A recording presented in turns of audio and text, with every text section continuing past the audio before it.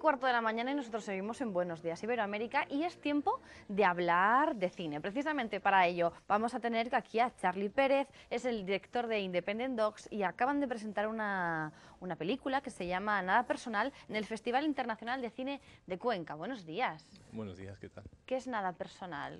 Eh, Nada Personal es un largometraje que filmamos en, en, en Guayaquil, en Ecuador, hace ya cerca de unos cinco años.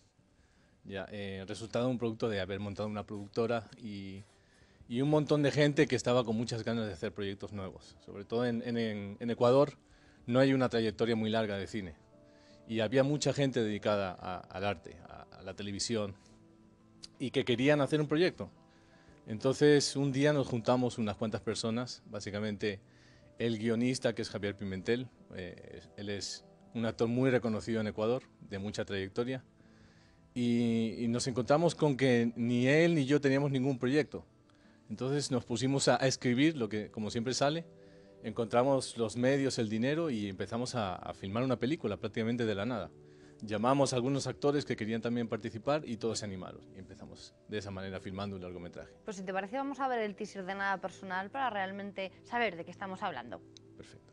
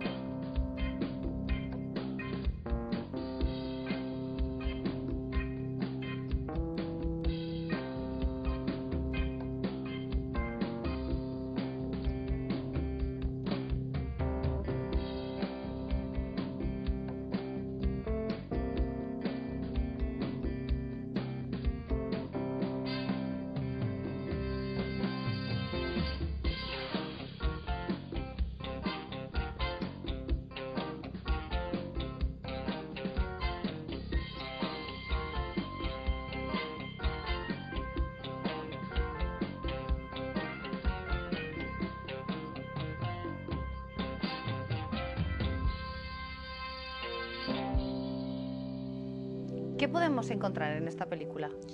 Bueno, esta película es una comedia eh, muy, digamos, de, con pocas locaciones, porque por los medios que teníamos necesitamos filmar una cosa que no nos complicara técnicamente. Entonces es una comedia muy divertida, donde los actores han dado lo mejor de sí, y actores que llevan muchos años haciendo comedia y saben, saben lo que están haciendo. ¿Tú te sientes más cómodo en el género de la comedia? Eh, ¿O te gusta hacer reír a la gente?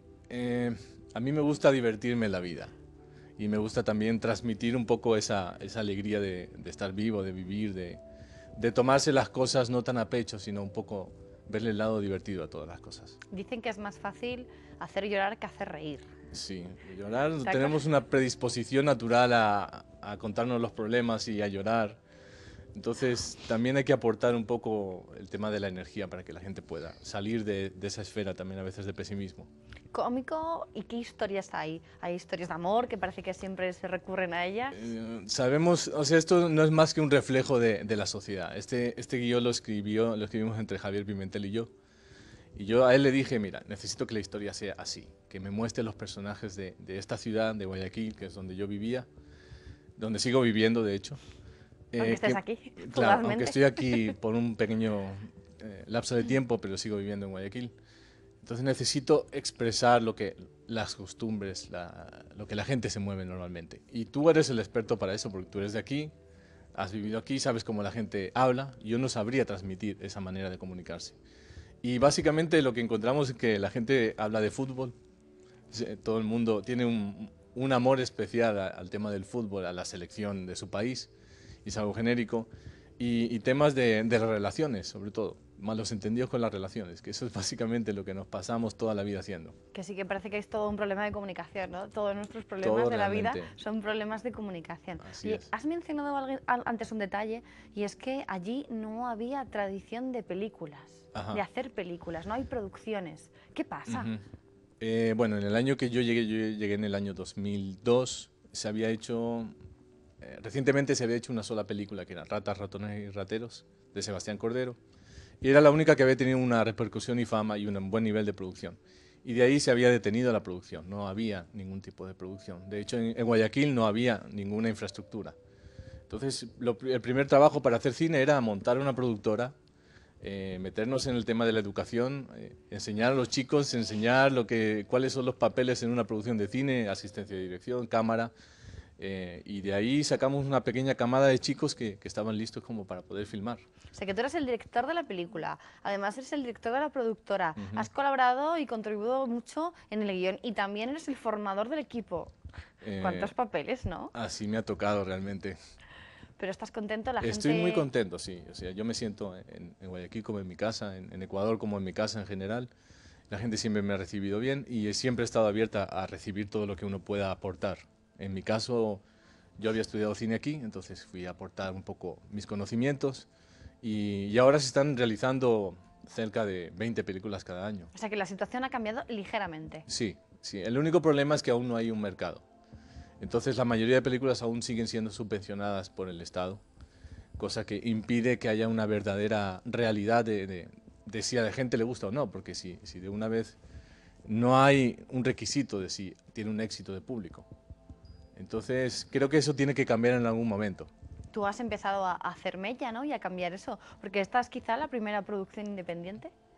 Yo creo que una de las pocas sí que ha sido completamente independiente, donde todo el capital ha, ha sido puesto en nuestro bolsillo, no se ha pedido un solo dólar de subvención, eh, como para demostrar un poco también que también se puede haber, tiene, tiene que haber una- un sustento económico en toda producción, si no, si siempre hay subvenciones, siempre vamos a ir agarrados de la mano de alguien. Y, en este caso tenemos que lanzarnos y ver si qué tal nos iba. Y bueno, es una cuestión de encontrar un mercado y que creo que el mercado está aquí también, en, toda la gente que vive en España, ecuatorianos que viven acá, ecuatorianos que viven en Estados Unidos, que, que añoran también su tierra y quieren ver un poco, recordar o sentirse reflejados en, en, en, toda, en, sus raíces, en lo que son. Me interesa particularmente tu, tu forma de ver las cosas de que no hay mercado. La gente allí no, no le gusta ver películas propias de, de Ecuador. A todo el mundo le encanta ver películas. De hecho, hay un gran mercado de películas americanas. Pero comercialmente son las únicas que tienen éxito. Eh, debido también a la baja, los bajos ingresos de la población y que la distribución también a veces es en cine, que tiene un alto costo para la mayoría de la población. ¿Cuáles han sido las principales trabas que tú te has encontrado a la hora de distribuir nada personal? No hay un modelo económico que sea viable, todavía. Entonces estamos buscando todavía de qué manera hacer llegar esta película a la maya- mayor cantidad de gente que lo puedan ver y que tampoco que tenga que, que, les- que no les cueste tampoco un dinero. Porque claro, tú, tú lo tienes dirigido hacia cine. Entonces, para proyectarlo en los cines, Es, todavía es, es un costo demasiado grande. ¿Y crees que la gente asequible. tendría preferencia por una película norteamericana o de Hollywood Sí, frente a por la tuya? sí. Aunque, aunque sea una película propia de allí. Les Eh, pasa como a nosotros aquí, ¿no? Que, que siempre hemos tenido un poco de estigma con, con el cine español, ¿no? De que hay mucha gente que dice, "Pf, es que yo cine español me cuesta un poco más. Cosa que creo que ahora está cambiando. Ujú. Pero no sé si allí va también a cambiar, si... A si- todos nos encantaría que la, la pantalla estuviese llena de películas ecuatorianas y que nos divirtiéramos con todas, pero desgraciadamente la realidad no es así, porque hay muy poca tradición de cine y aún se está intentando encontrar el lenguaje para que la gente se enganche con eso. Y la gente tampoco va a ir a ver una película sin saber si le va a gustar, la gente va a lo seguro. Y van a pedir películas americanas. Esa es la triste realidad, no, no se puede cambiar.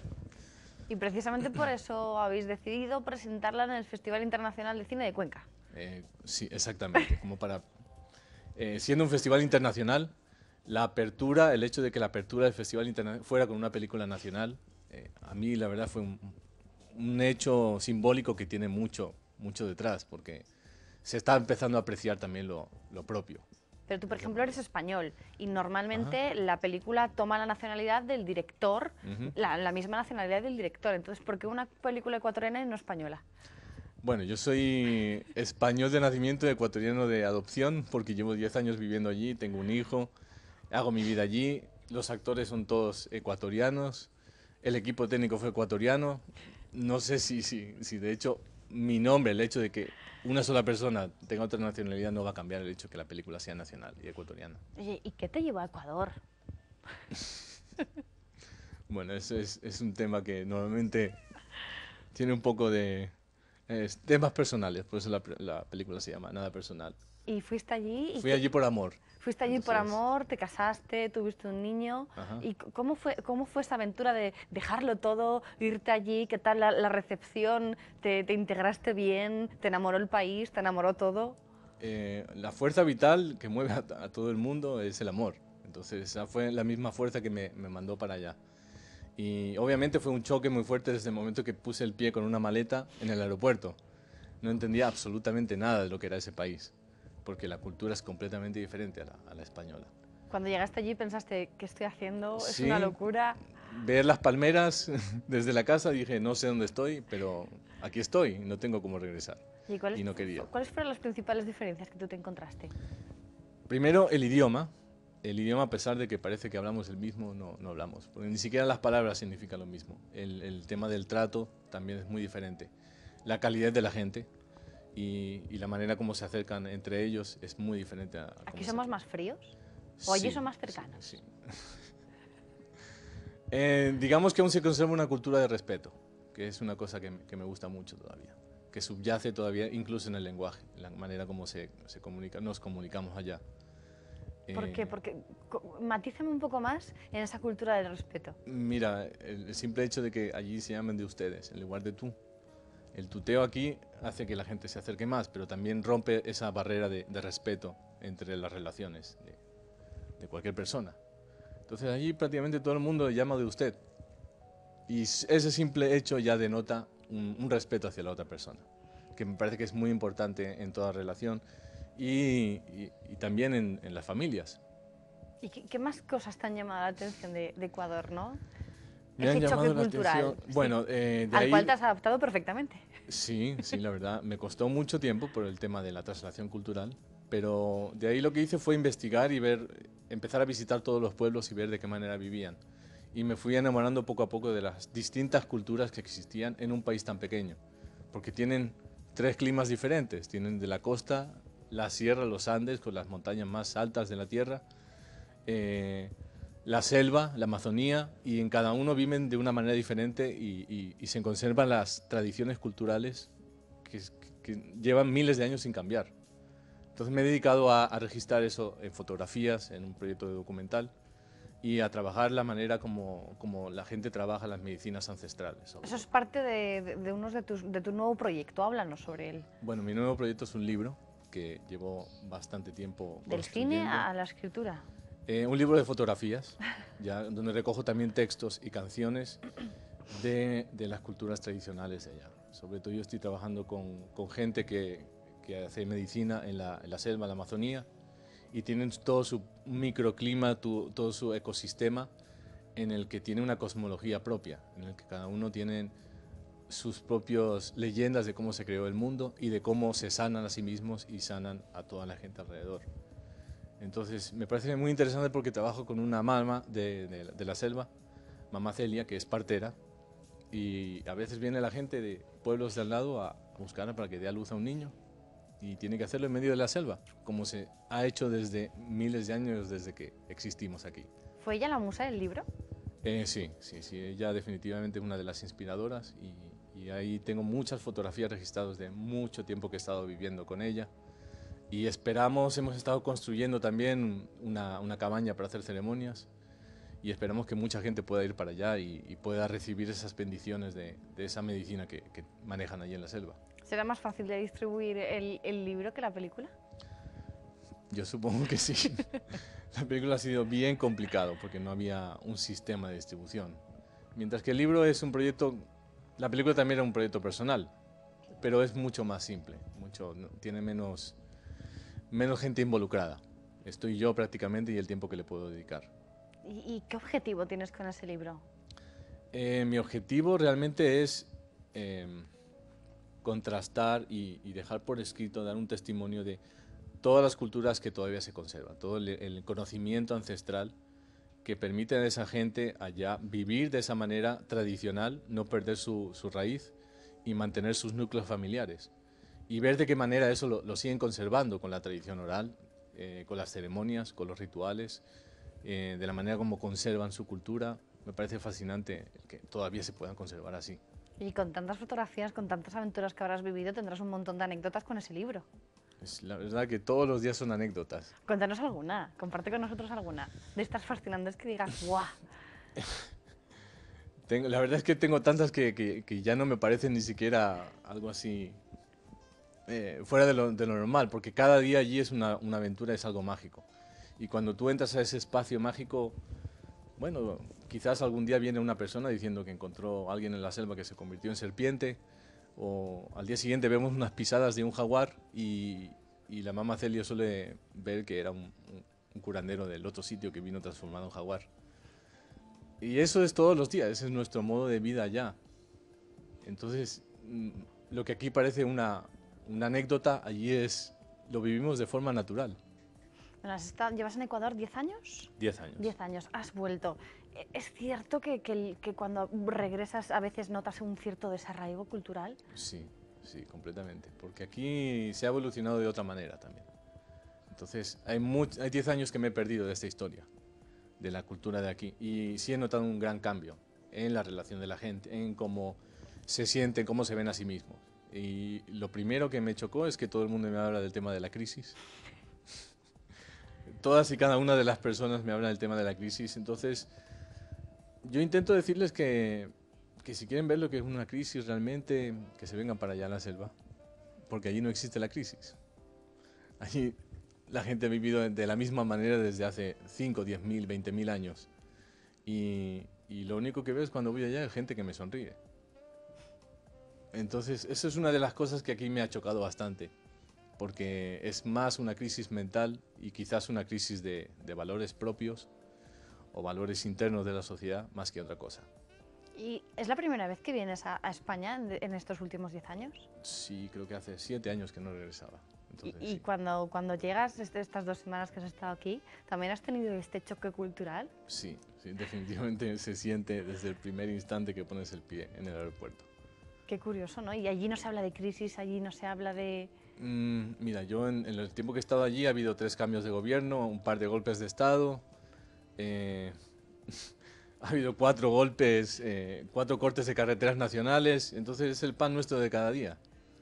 Eh, uno ya lo aprende a vivir normal porque al final se da cuenta que no le afecta tan directamente. La gente sigue haciendo su vida, a pesar de todo eso. ¿Tenemos mucho más miedo aquí? ¿Has notado miedo? Sí. ¿Por todo? Por todo.